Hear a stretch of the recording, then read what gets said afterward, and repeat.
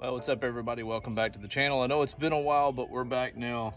And today I'm gonna clean up the boat. We've had a uh, long year last year and uh, start of this year already has been going with tournament season and I just haven't had a chance to get the boat clean. And this is what I mean. The staining, the really, really dark brown staining that just will not come off. That will not come off with a pressure washer. Uh, and it's just in it. Now I've seen a lot of people that use toilet bowl cleaner. That's what I'm gonna use today and we'll see if it comes off. Not gonna be a lot of talking in this one, just a lot of cleaning. So, here's the before. Let's see if we can take care of it. Stay tuned. Watch until the end of the video. If you think I deserve a subscribe or a like button or whatever, hit it. And I'll see you on the next one. Okay, so here's what we got. We're going to use Lysol, the 10 times the cleaning power. We'll see if it works. Got me a pair of rubber gloves. Now, a lot of people I've seen will put this in a pump sprayer and spray it on. I don't want to do that for one specific reason. I don't want it to get on the color and I don't want to get on anything else as much as I can avoid it. So I'm gonna put on rubber gloves and I'm gonna kind of wipe it on, brush it on more or less and kind of keep it stirred up. Let it sit for about 10 minutes. I'm gonna wash it off and we'll see the before and after. That's what the tape's for. We'll do before and after whichever way it is and see if it actually works.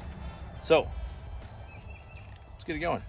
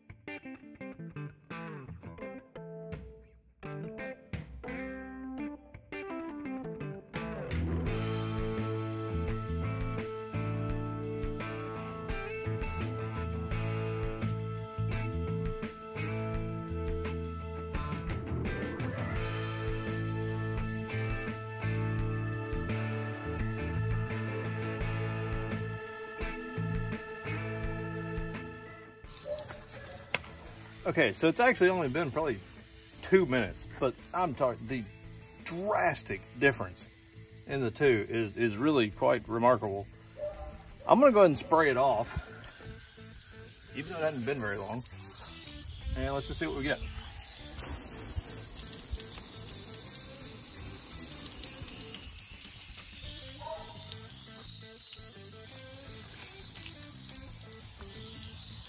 My word.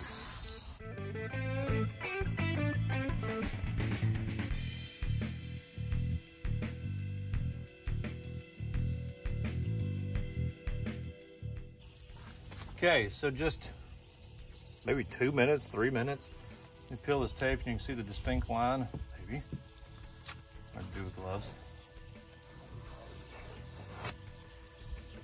That is is pretty wild, honestly. Super easy to do, takes very little time, and it's so simple to see where you are because it just goes so fast. Um, I'm gonna just put it up here on the front, finish the rest of the boat on this side. I'm gonna do the other side, so forth and so on. And you can kind of just uh, scroll through if you want. Finish the boat, and then I'll hit it uh, one more time at the end, and we'll wrap everything up.